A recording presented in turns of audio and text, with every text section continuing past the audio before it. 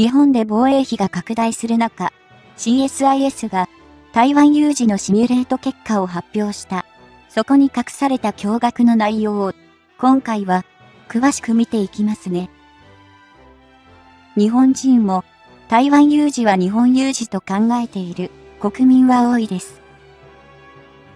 南西、沖縄国民の避難ルートを確保。ウクライナ侵攻後、中国の言っていることや、ゼロコロナ政策の失敗で、現実味が出てきました。中国国内で革命が起きれば、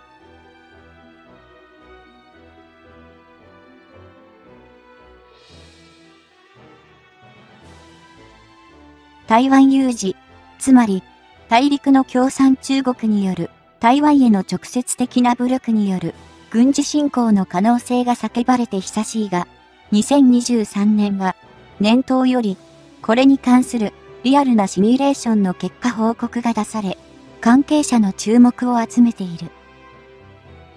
これはアメリカの軍事系のシンクタンクとして世界的にもよく知られている CSIS 戦略国際問題研究所が発表したもので、共産中国が今から3年後の2026年に台湾への軍事侵攻を開始したとの設定となっている。ここにおける共産中国の目標は台湾への上陸とその完全な占領であり、逆に台湾、日本、アメリカはそうした中国軍の侵攻を撃退し、台湾を共産中国の制圧下に置かせないことを目標にシミュレートされている。今回の CSIS 戦略国際問題研究所のシミュレーションによれば、最大で24パターンのシナリオを実施したが、結果的には、いずれも共産中国による台湾占領は阻止されたものの、台湾、日本、アメリカも莫大な被害を被るとされる。これは、今回のシミュレーションにおいては、共産中国は台湾へ強襲揚陸艦をはじめとする艦艇で上陸部隊を送り込むことに対し、台湾、日本、アメリカは、それらの艦艇を沈めることに主眼を置いたためとも思われる。なんとか、膨大な犠牲を払いながらも、共産中国による台湾の制圧は阻止できた台湾、日本、アメリカ側だが、その結果にたどり着くためには、大きく4つの要素を日本らが踏まえておくことが、その際に必要となるとされた。まず、第1には、台湾の陸上兵力が、容易に、共産中国側の上陸部隊の侵攻を許さないという大前提であり、海岸線での防衛戦闘において、内陸部に侵攻されないように、水際で戦線を維持する必要があると述べられている。第2に、一旦、共産中国が台湾への軍事侵攻を開始してしまうと、同国軍は台湾を海上封鎖することが可能であるため、アメリカは台湾に対し、事前に必要な兵器や物資を備蓄し、かつ、戦闘が開始された段階で即座に参戦することが求められる。この部分が、今、まさに、継続中のロシア・ウクライナ戦争と大きく異なる地理的な要因であり、同戦争では、ウクライナも内陸国であるため、陸上ルートでの物資の供給は容易であるが、台湾ではそうはいかない。第3が第1に挙げた点とも一部関連するが、アメリカ軍が早期に戦闘に参加するにあたっては、必ず在日アメリカ軍基地の戦力やインフラを使用することが不可欠であり、政治的に日本側の了承も得ておくことが求められる。個人的には、実は、この在日アメリカ軍基地の件が、非常に厄介な問題となる可能性があると思えてならず、例えば、今のロシア・ウクライナ戦争でも、日本はウクライナに対して、これまでは、久し小分野の物資しか提供していない。仮に台湾有事が正規したとしても、日本国内では台湾への支援についても同様の事態が懸念される上、自国への直接的な攻撃が行われない限りは、日米同盟に基づく在日アメリカ軍基地の使用についても慎重論が唱えられる可能性もありそうだ。そして、最後の第4の点は、アメリカ軍が、共産中国の側が、台湾への兵力の上陸を防止するにあたって鍵となる兵装は、長距離攻撃が可能な空対艦ミサイルでの飽和攻撃であり、その実現は、爆撃機が担うと結論付けられている。ここで言う長距離攻撃が可能な空対艦ミサイルとは、具体的には、アメリカ海軍と国防高等研究計画局、DARPA が企画し、ロッキード・マーチン社が製造を担当している AGM158C ロラズムのことを指し示すものである。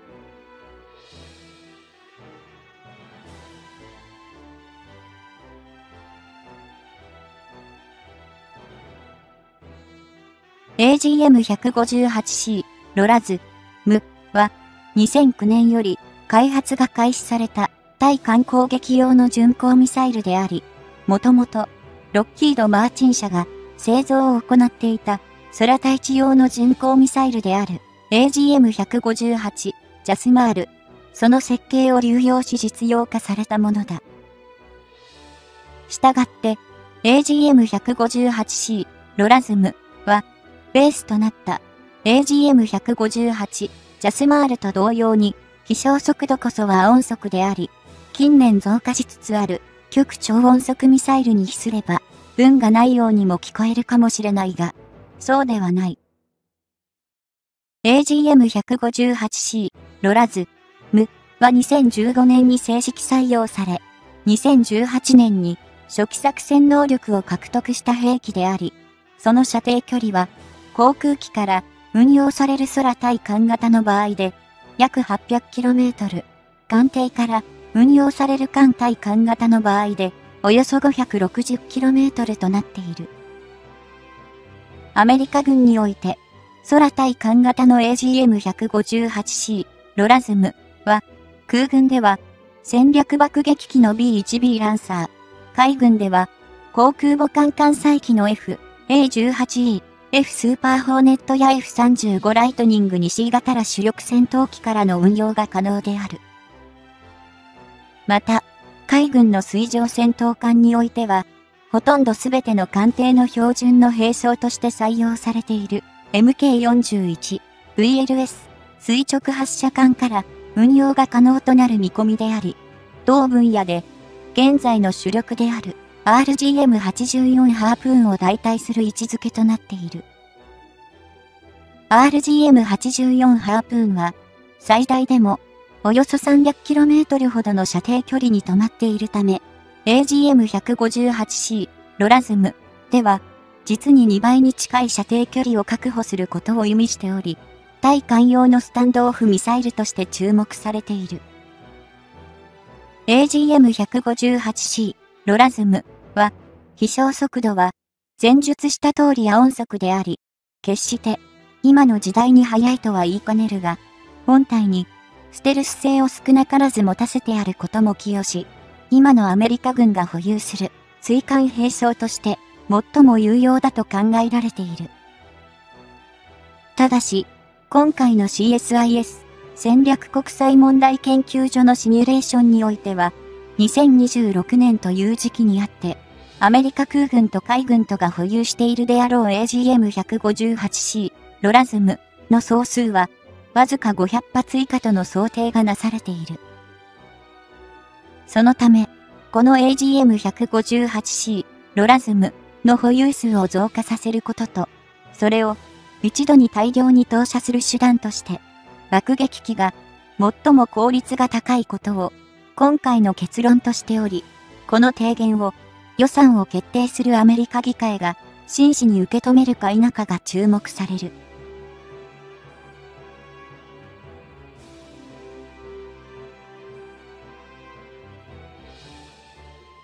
また、昨今は、日本でも、国産の12式地対艦誘導弾の能力向上型の実戦配備まで、そのの穴を埋める兵装として、調達が検討されているものに、アメリカのトマホーク巡航ミサイルがあるが、こちらも同様の理由で有効と見られている。